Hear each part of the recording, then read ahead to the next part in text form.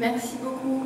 Alors avant de commencer, je voudrais remercier Françoise de m'avoir euh, proposé de, faire cette communication sur la Corse au temps de Dante et préciser que c'est une communication qui avait été faite il y a cinq ans par euh, Jean-André Cancellieri pour euh, l'anniversaire, la commémoration de la naissance de Dante. Et donc je vais essayer d'être à la hauteur et dans la continuité de ce qui avait été présenté. en m'excusant d'avance de ne pas parler de littérature ni de poésie, mais bien d'histoire et d'histoire médiévale. Au, chant 22 de l'enfer, dont nous avons parlé hier, qui décrit le huitième cercle où les trafiquants et les concussionnaires sont condamnés, sont trempés dans la poix brûlante, Dante évoque sa rencontre avec deux sardes, Michael Ezanque di Logodour et Fra Gomita di Galour, au sujet desquels le poète écrit À dire di Les linguello non si sentono stanche. À travers cette rapide allusion aux conversations passionnées de Zanck et de Gomita sur la Sardaigne, Dante évoque un contexte politique qui concerne directement la Corse, même si cette deuxième île n'est pas nommée. Le voyage de Dante en enfer est en effet contemporain de la création par Boniface VIII, l'ennemi juré du poète, du royaume de Sardaigne et de Corse et son inféodation au souverain d'Aragon, Jacques II. Cette création pontificale, sur le modèle du royaume voisin de Sicile, vassal du pape, a été interprétée comme une innovation de Boniface VIII destinée à réaffirmer les droits du souverain pontife sur les deux îles. Pour ma part, j'insisterai dans cette communication sur la longue genèse de ce nouveau royaume méditerranéen qui nous plonge au cœur de la lutte entre Guelph et Gibelin, dont le poème de Dante égrène les épisodes et les acteurs au fur et à mesure de son cheminement de l'enfer au paradis.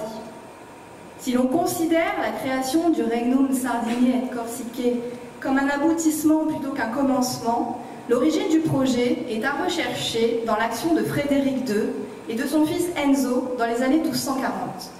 En 1238, probablement sous l'influence des Doria, Enzo épousa Adelasia de Torres, héritière des deux judicats septentrionaux de Sardaigne. Donc le Logodour et la Galour que vous pouvez voir sur cette carte. Ce mariage, contracté contre la papauté, permit à Frédéric II d'investir son fils du titre de roi de Sardaigne. Cette revendication impériale sur la Sardaigne se fondait en partie sur euh, sur l'ancien système judical issu de la tradition byzantine, puisque nous savons que les juges de Sardaigne s'intitulaient rois dans leur judicat. Elle renvoyait également à une précédente tentative impériale d'imposer un contrôle sur l'île, avec la nomination de Barizone et d'Arboré à roi de Sardaigne par Frédéric Barberousse, au cœur de sa lutte contre les villes communales du Nord. Il reste que la nomination d'Enzo était une provocation adressée à la papauté, qui depuis le XIe siècle n'avait cessé d'affirmer sa suzeraineté sur la Sardaigne et sur la Corse. Elle fut donc à l'origine de la reprise du conflit entre le pape et l'empereur. L'excommunication de l'empereur fut prononcée en 1239, tandis que le pape Grégoire IX organisait un concile destiné à déposer Frédéric II.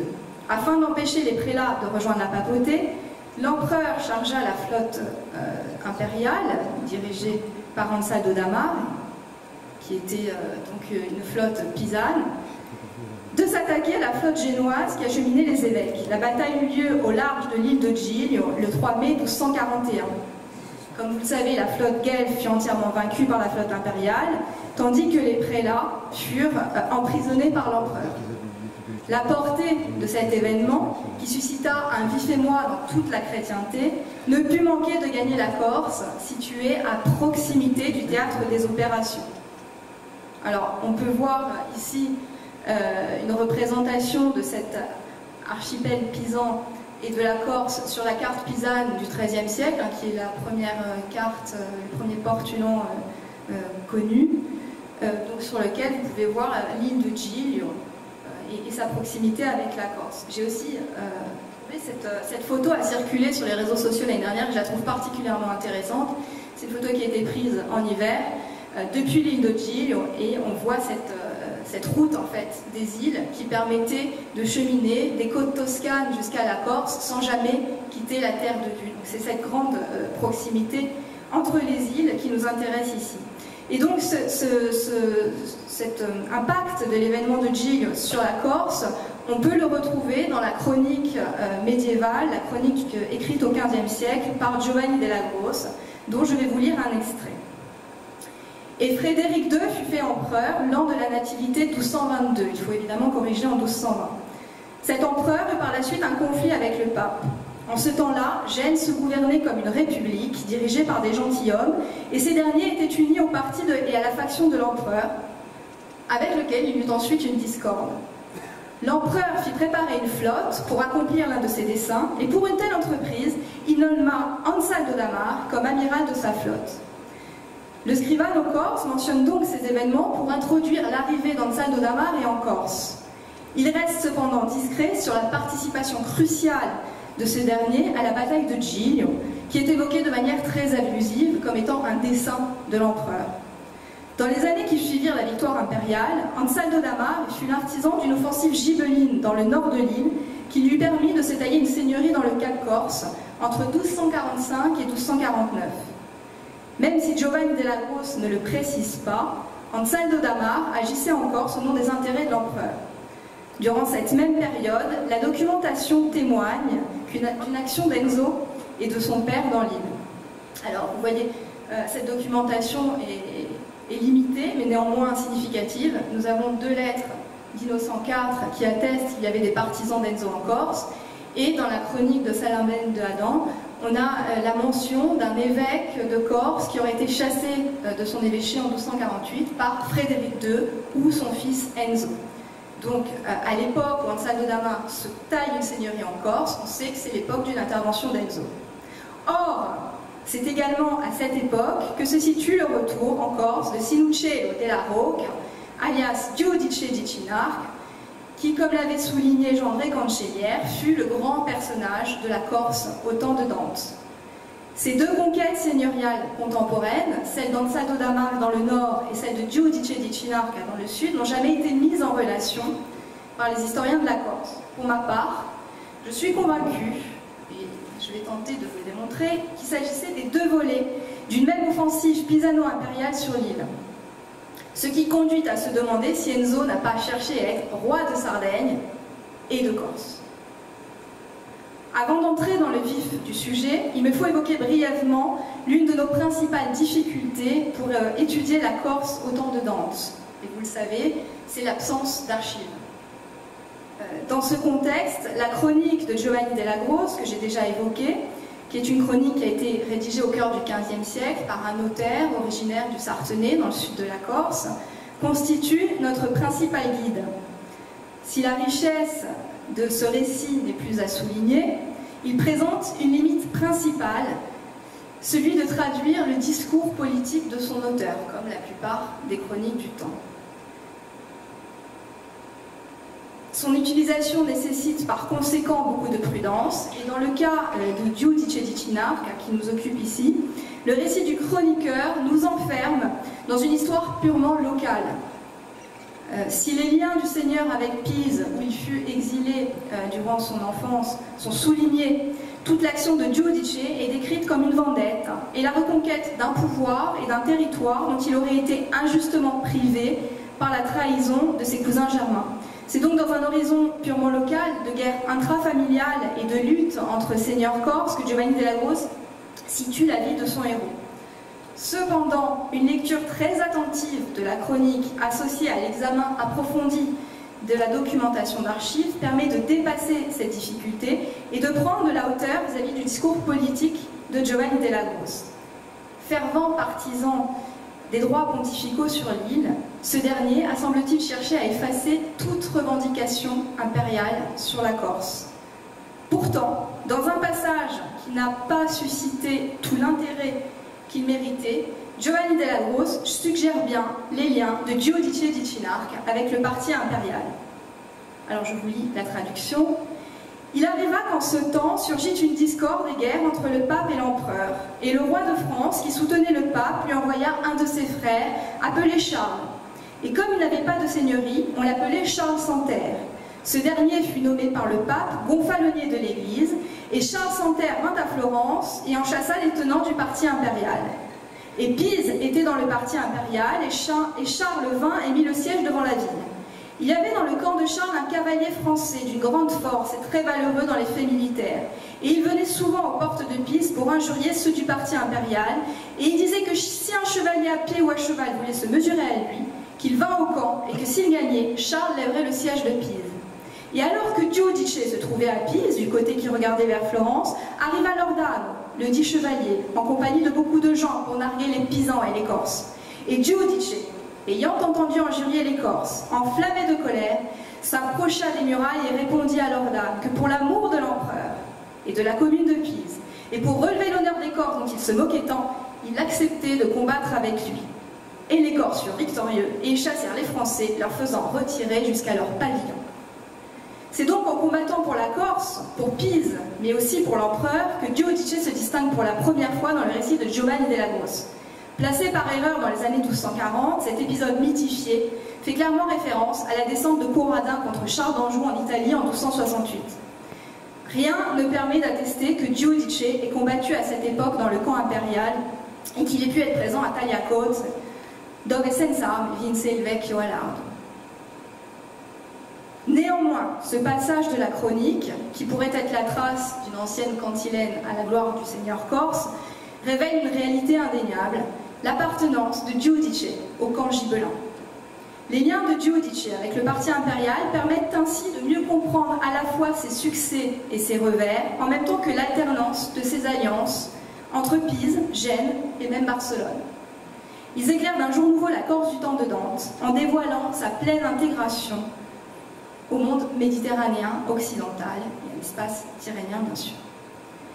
D'après le récit de Giovanni della Grossa, la conquête et l'unification de la Corse par Giudice di débuta en 1245 et s'acheva en 1264, soit euh, la veille de la naissance de Dante.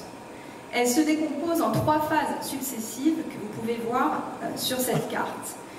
La première phase se déroule de 1245 à 1250. Durant cette période, Giudice conquiert le sud de la Corse et il se fait acclamer seigneur de la zone allant du col de Cilac, au-dessus de Solacaro pour ceux qui connaissent, à Bonifacio, lors d'une première vedouta, c'est-à-dire une assemblée, organisée au col de Cilac en 1250.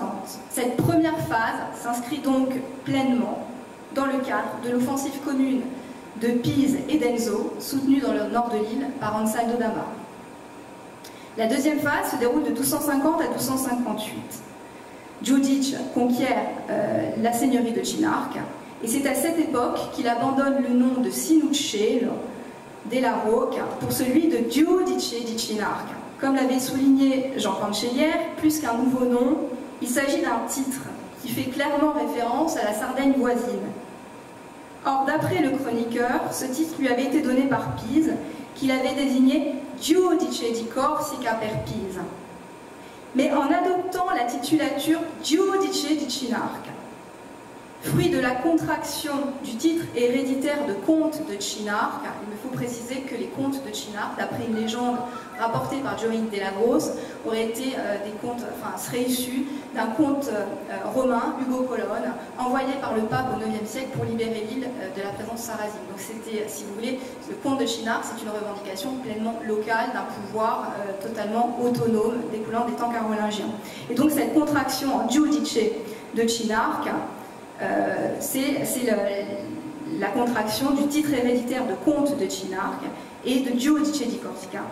Donc par ce, par ce titre, le seigneur corse affirmait en fait une certaine autonomie vis-à-vis de Pise. Et c'est ce que veut dire en fait cette phrase du chroniqueur quand il dit mais tout le monde l'appelait Giudice di euh, dans le même temps, donc en 1258, le seigneur s'allie à Gênes.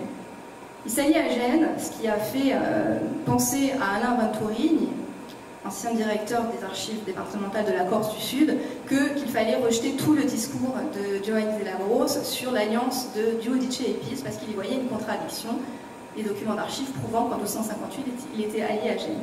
Il n'y a pas de contradiction en réalité parce qu'à cette époque, Pise et Gênes viennent de signer un traité de paix après la guerre qui les a opposés en Sardaigne.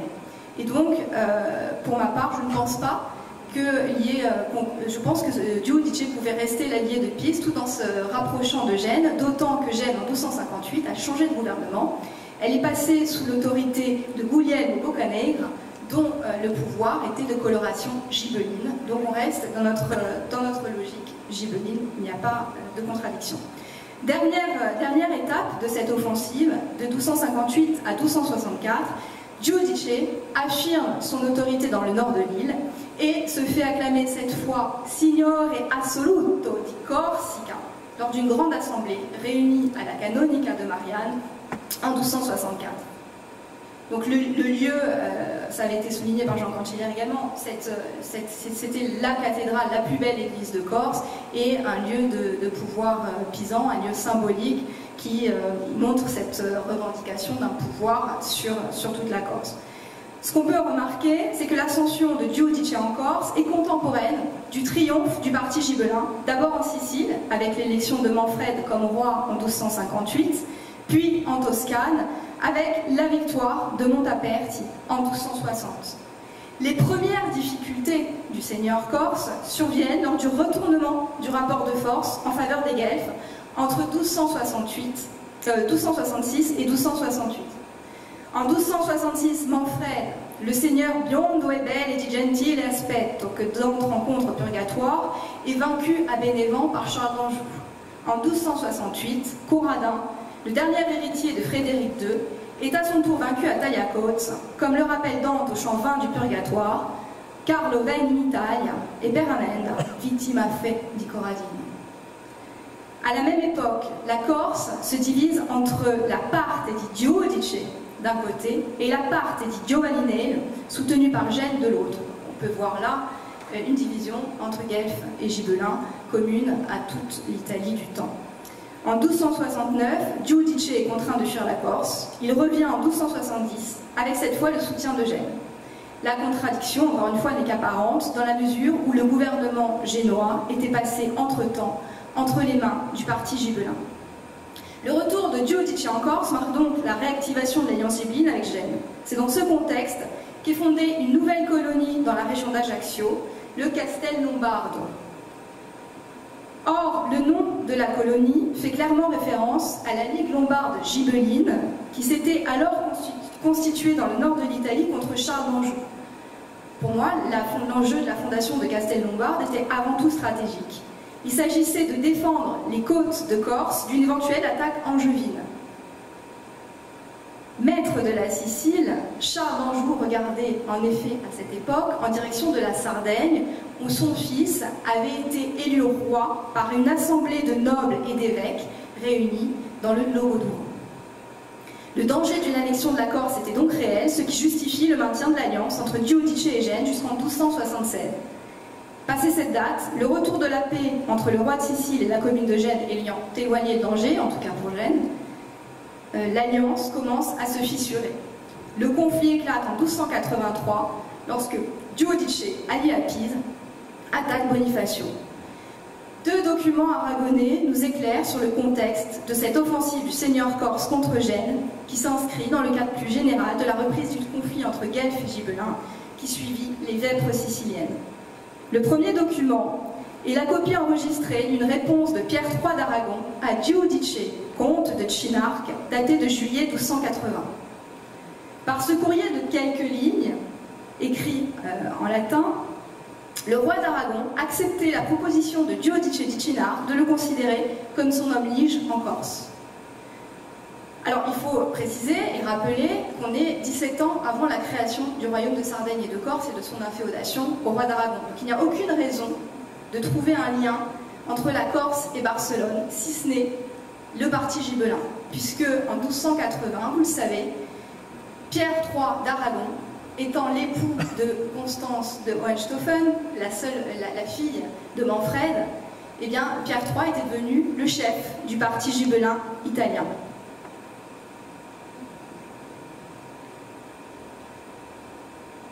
La lettre de Giudice s'insère ainsi dans le contexte immédiat de la révolte des vêpres siciliennes qui chassa Charles d'Anjou de Sicile au profit du couronnement de Pierre III par les Siciliens eux-mêmes.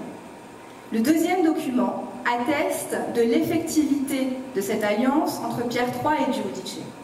Il s'agit d'un extrait des comptes du royaume de Sicile qui stipule l'envoi d'une flotte en Corse en 1283, au moment même où Giudice attaque Bonifacio avec le soutien de Pise et de son voisin sarde, Mariano d'Arborea. L'aide de Pierre III à Giudice en Corse visait probablement à empêcher l'envoi d'une flotte génoise pour soutenir Charles d'Anjou en Sicile. En 1284, la fameuse victoire de la Méloria vit le triomphe de Gênes en Tyrrhénienne. La flotte pisane fut écrasée et Giudice perdit son principal allié maritime. Pour les chroniqueurs contemporains, la victoire génoise de la Méloria, la qui est, située assez près finalement de l'île de Giglio, euh, qui est vraiment à l'entrée du port de Livourne, euh, a, été perçue par les chroniqueurs contemporains comme étant la vengeance divine. La vengeance de euh, ce qu'avaient fait les Pisans à Giglio et de, l'arrestation et de l'assassinat des prélats.